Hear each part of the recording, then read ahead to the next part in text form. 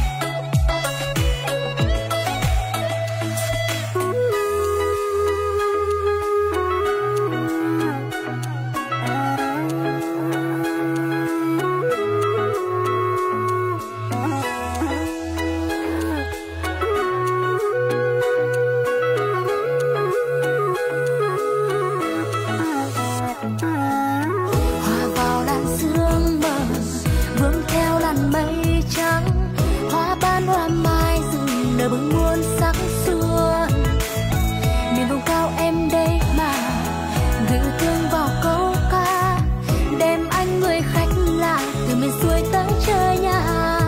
Vậy nếu như anh có dịp thì mời anh ghé qua. Ghé thăm nơi bản làng người tây bắc chúng em. Bóng bên ngọn lửa hồng hoa rượu cần chưa uống đã say.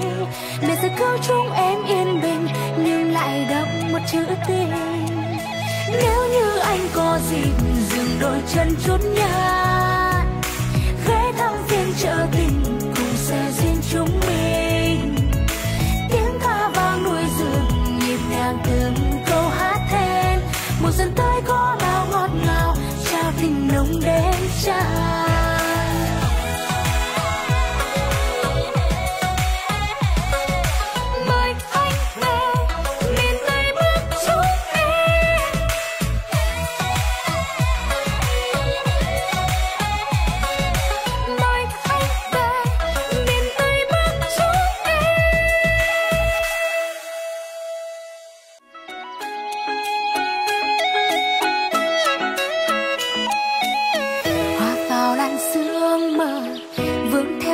Mây trắng, hoa ban hoa mai rừng nở bừng muôn sắc xuân miền vùng cao em đây mà gửi thương vào câu ca, đem anh người khách lạ từ miền xuôi tới chơi nhà.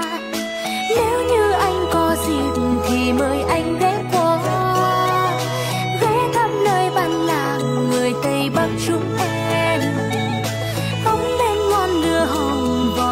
rượu chưa uống đã say. Để giờ cứu chúng em yên bình, nhưng lại đậm một chữ tình. Nếu như anh có dịp, dừng đôi chân chốn nhà